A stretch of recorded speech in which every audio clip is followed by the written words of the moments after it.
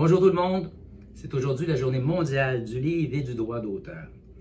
Et je, tenais à la souligner, cette journée-là, qui pour moi est très particulière, parce que la lecture, quelque chose qui me fascine, que je trouve extraordinaire, et l'écriture aussi, mais aussi pour encourager, ou principalement pour encourager les jeunes à lire.